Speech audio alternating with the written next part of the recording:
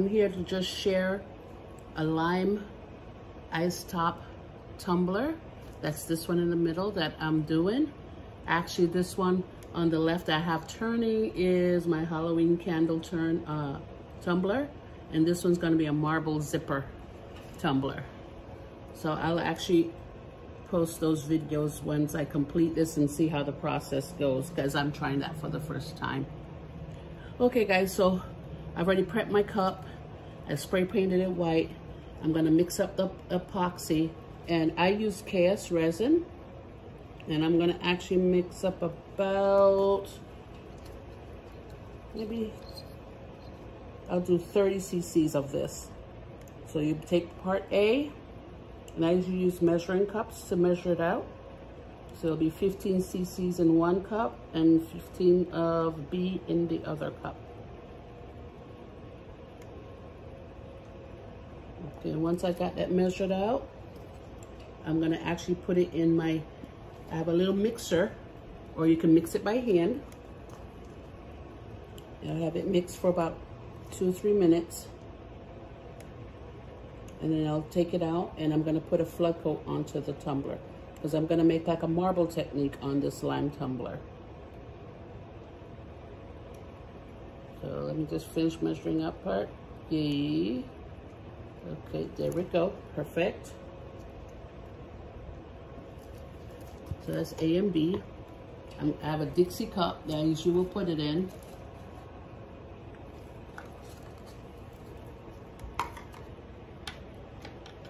And I think I will use, I have a metal stir. So I'll use that for today. Sometimes you could use popsicle sticks, which I do have, but this one was closer. Just scrape part B into the cup. Just make sure I get everything out. Then I will pour in part A. And you could do these in any order. Because they're going to be mixed up.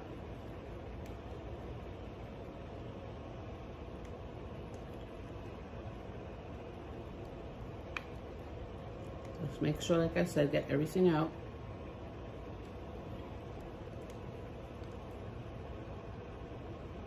Okay, there we go.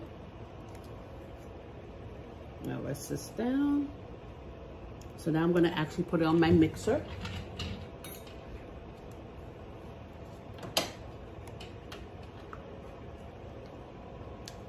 I'm actually gonna set that for, just let it spin for about three minutes. Okay, I usually will clean off my mixer with, I have just some regular disinfectants and antibacterial wipes. And usually will take off all the epoxy off the stirrers. That's if you're using one that you can reuse. Okay, throw that out. Now, the inks that I'm gonna be doing on this to make it kind of mix is gonna be Pinata White. I have Ranger alcohol ink. This one's limeade. I have a little darker green, which is says lime green on there. And I'm also gonna add in some of Marabu, the alcohol ink with the color shift. This one has the blue and the purple. Actually blue and green on there, sorry. And then I'm gonna add in a little bit of glitter. This is by Glitter Guy and they have great glitter. And this one's Killer Tofu. All right, so I'm gonna actually leave, like I said, that stirring in the meantime. All right, and while that's mixing up, I already have my I, my my churner churning, and this churner I got from the company called Tumbler Grip, and they're amazing. They have great customer service and I really, really like them a lot. All right, so this is a six turner, but right now I'm actually just using three. All right, guys, let's see. I'm gonna check on, oh, I'm gonna check on my mix. Let's add those over there.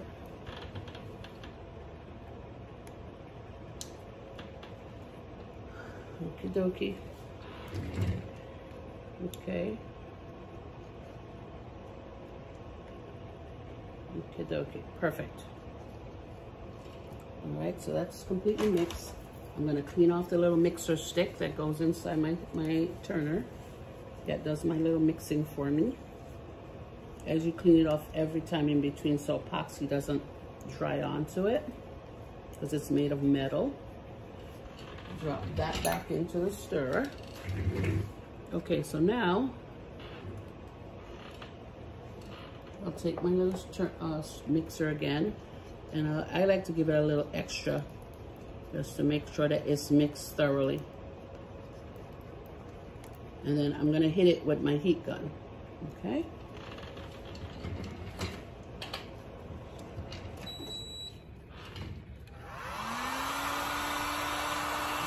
Just a few seconds.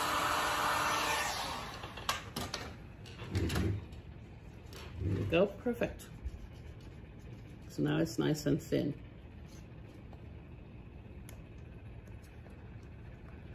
Okay, perfect. Scrape that off.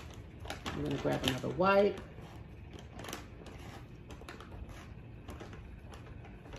If I could get it out the bag. There we go. All right, to clean off my stirrer. Okay, so now I'm gonna start applying this flood coat to the tumbler. Okay, and I usually use my fingers to spread it around. This tumbler I got from MakerFlo Crafts, and they have great prices on tumblers. I usually use between them and the Steel Depot to get my, my tumblers because they always seem to have really good prices and their shipping is really fast. All right, so I'm adding on that, just giving it a nice flood coat. Don't forget the handles, guys, okay? And then once I get it on, I'm actually going to, to hit it with a little heat again, okay?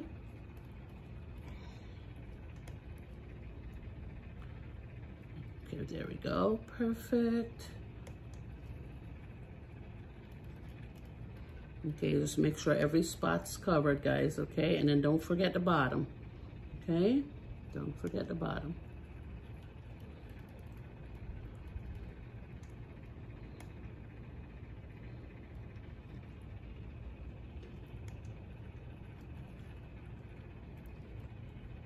Okay, good. I'm thinking I'm Almost got it completely covered. Add some now on the bottom.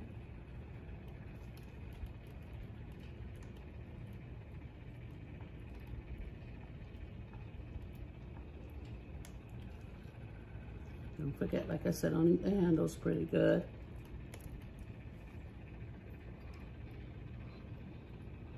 Okay. I still got a little bit more in here, so I'm gonna just add it on here, okay?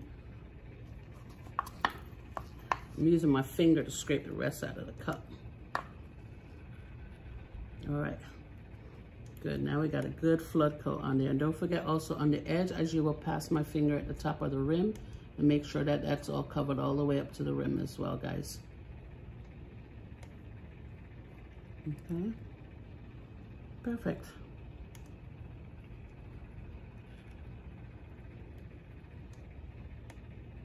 All right, very good. Okay, good.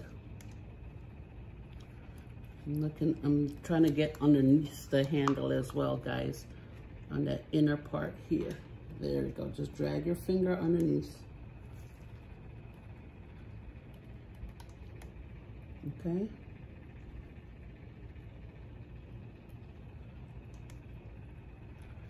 Just making every sure every part of that handle got coverage as well. All right, perfect. Okay, I'm gonna get rid of this cup. I'm gonna actually clean off my hand with one of those wipes.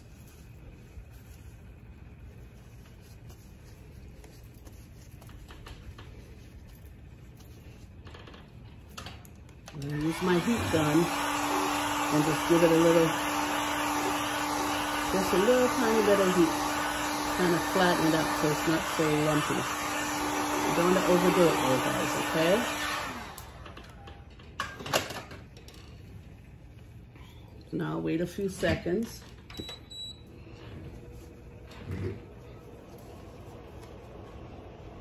Okay.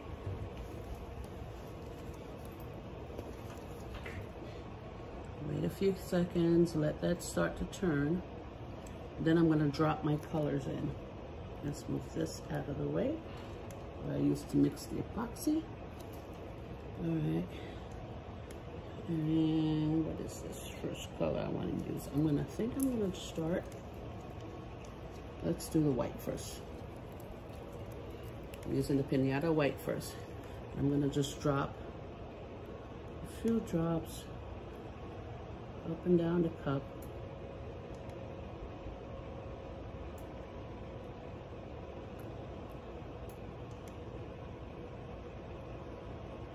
Okay. And a little bit for the bottom. Okay. Okay, so I got the white on. All right, now I'm gonna go in between with the limeade.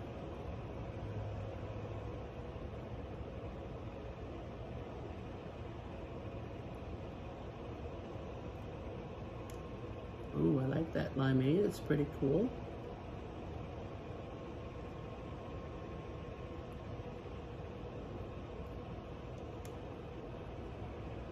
Okay. Perfect. I think that's good.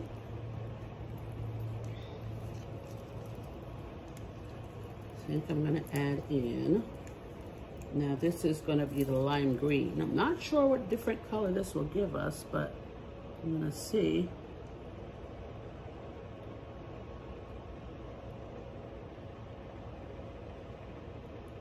Okay, it's a little darker.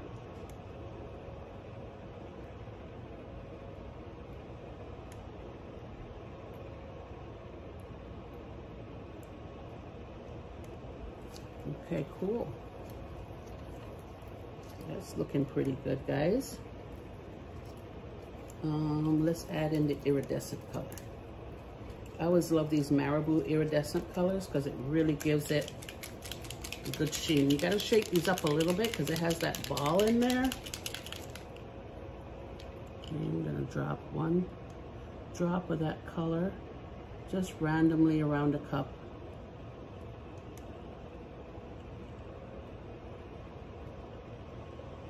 Okay, and it's giving a really nice sheen to it.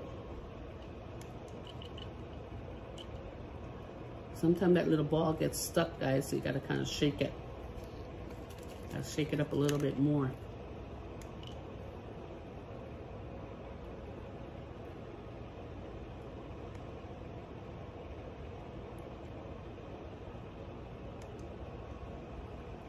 Okay, cool. Okay, I think that's good enough, guys.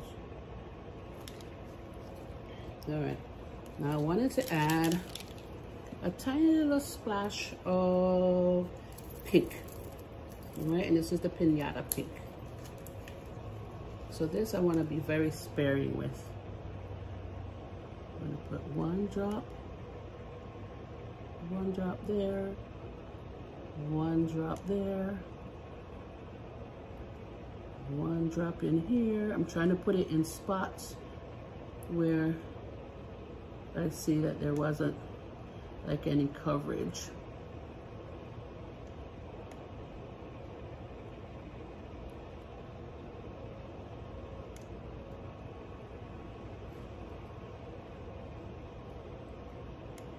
I like that. What do you guys think?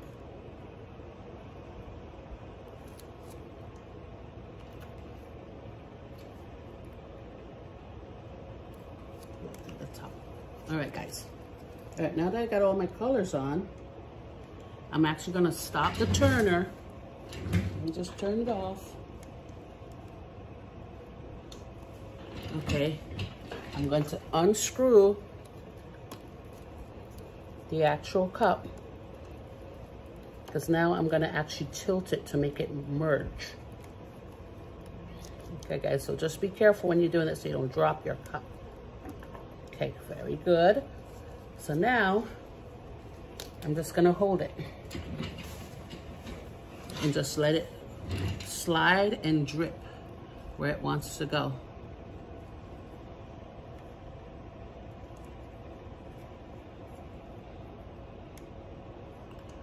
So if you notice, the colors are actually kind of blending in together.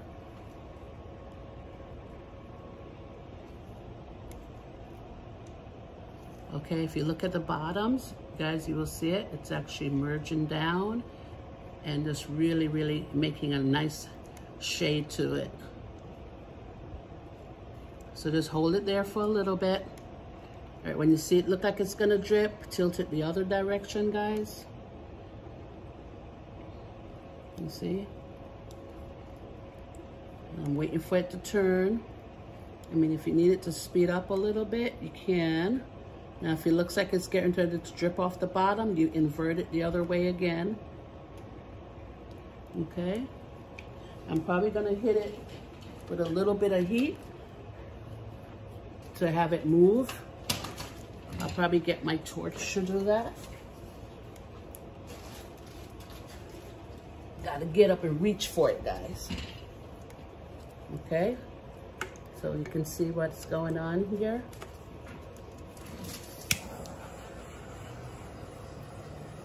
Heating up it a little bit. Okay. So now that will give it a little more movement.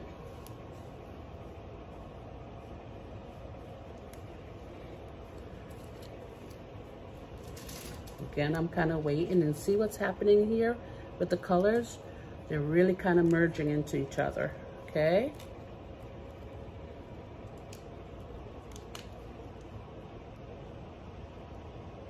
I mean, look at that on the handle, guys.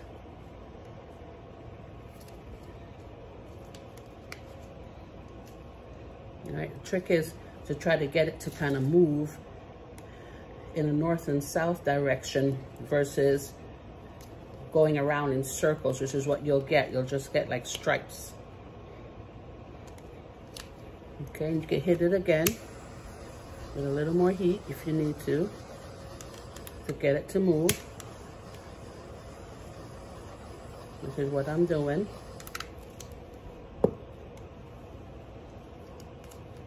Okay, so here you go. Look at that.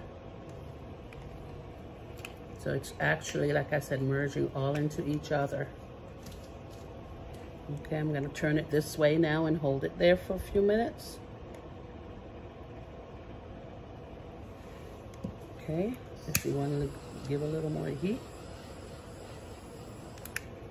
that'll help it to merge. There you go, and look what's happening there.